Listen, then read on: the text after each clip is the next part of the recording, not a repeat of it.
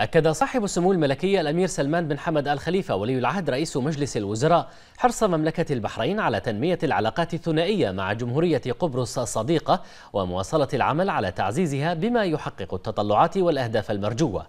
جاء ذلك لدى لقاء سموه حفظه الله في إطار حضور سموه نيابة عن حضرة صاحب الجلالة الملك حمد بن عيسى الخليفة ملك البلاد المعظم حفظه الله ورعاه للمؤتمر السابع والعشرين للأطراف في اتفاقية الأمم المتحدة الإطارية بشأن تغير المناخ كوب 27 المنعقد في جمهورية مصر العربية الشقيقة فخامة الرئيس نيكوس أنستادييس رئيس جمهورية قبرص حيث استعرض سموه مسار العلاقات القائمة بين مملكة البحرين وجمهورية قبرص الصديقة وما وصل إليه التعاون المشترك بين البلدين من مستوى متقدم. مؤكدا سموه على أهمية الاستمرار في تطوير أوجه الدعم والتنسيق العمل المشترك لخلق مزيد من الفرص والتعاون بما يعود بالنماء والخير على البلدين والشعبين الصديقين. كما جرى خلال اللقاء استعراض مختلف القضايا ذات الاهتمام المشترك وآخر المستجدات الإقليمية والدولية.